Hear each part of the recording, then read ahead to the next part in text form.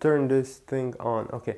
Hi guys, welcome to TV Calibration with Darko April 2017 edition. This is not like a monthly or weekly vlog, this is something I do once in a while. Actually the last vlog I did was in September 2015. Um, yeah, okay. Uh, this weekend I'm not testing anything new, but this will change right next Monday because I will get from Samsung Model 40 MU6402, that's successor to last year's KU6400 or 6402 depending on country specific code. Basically it will be a UHD TV with HDR, but uh, since I tested already Q7 uh, QLED from Samsung and I saw not so big improvements in terms of HDR. I don't expect all that much to change with MU series this year. However, I'll be happy to, to be proven otherwise once I get review sample right here in my lab. This is a small uh, 20 square meters room where I do all the testing and behind me is my computer. Basically, I'm still using this Dell 24 inch monitor but uh, last year I upgraded my hardware to i7 CPU, 16 gigabytes of RAM, and uh, it allowed me to basically uh, make videos uh, more quickly, not to upload them more quickly because uh, right here in this neighborhood I have internet speed of, get ready, 5 megabit download and like 0.7 megabit upload. So you can imagine when I'm uploading something for YouTube, it takes a lot of time.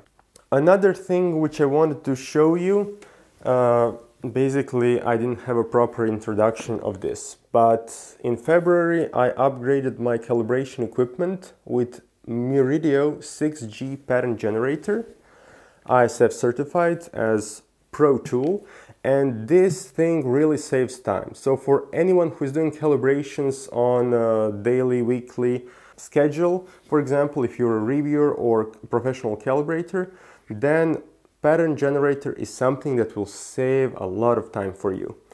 Uh, yeah, let me open this box. So what is pattern generator?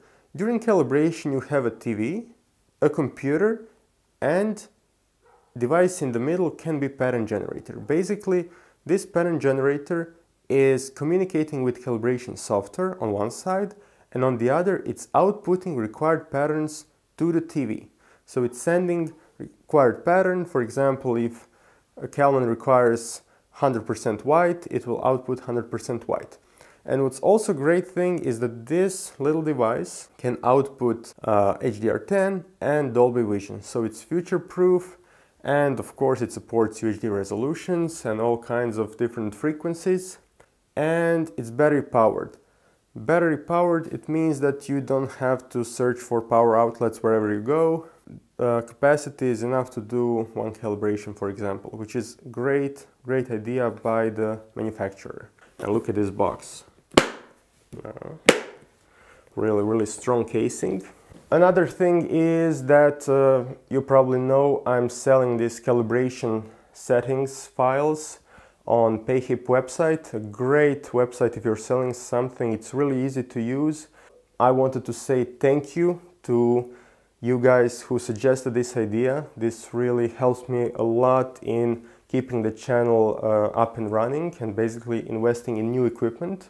Not only that I bought this, I'm also planning to get a new colorimeter and also Spectro to measure colors of these new quantum dot and wide color gamut uh, TVs and monitors. In general, I would like to thank to everyone who is following me on YouTube or other social media. Uh, your comments, likes, dislikes are greatly appreciated and uh, I'm trying to answer all of your questions. I get to do that most of the time, but sometimes due to you know overwhelming amount of work, there is a little delay. So sorry for that. I will try to be faster. And uh, yeah, as you can see, great weather outside. I think I'll go enjoy the sun. So thanks for watching. Have a nice day. Bye.